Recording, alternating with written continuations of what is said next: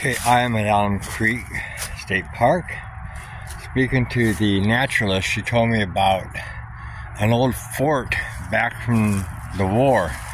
Was down here in a couple gravestones. This is, I guess, the plaque. Too bad the fort's still not standing. I don't know if foundation's here, but she told me the fort's not standing.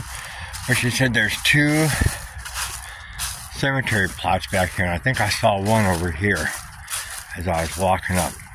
Oh, to get to this, you come into Alum Creek, come back to the um, campground, go past the little entrance booth there, and then there at the nature center of the road to turn right and left. You turn left, and you come back just before this curve. You'll see that right there. And here it is. I can see one of the stones here. I'm not going to see anything on them. But they look really worn.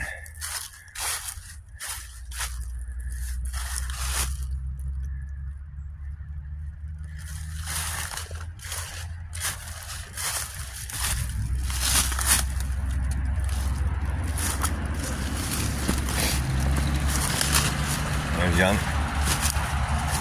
The other one over here.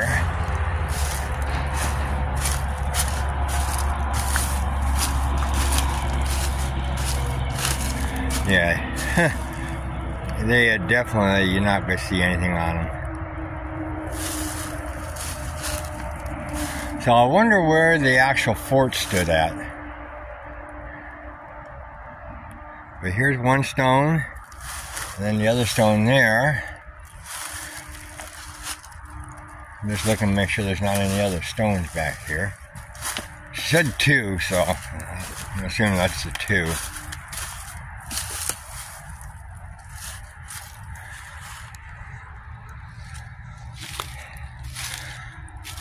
But I thought I'd share this with you. It's a little interesting.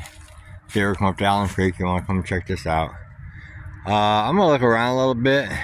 I don't know if it could have been over there. I just seen a truck come by. I don't know they might know. I'm curious if the foundation of the fort or any remnants of the fort still stand. I'm going to look around a little bit, and if I do, I'll come back on.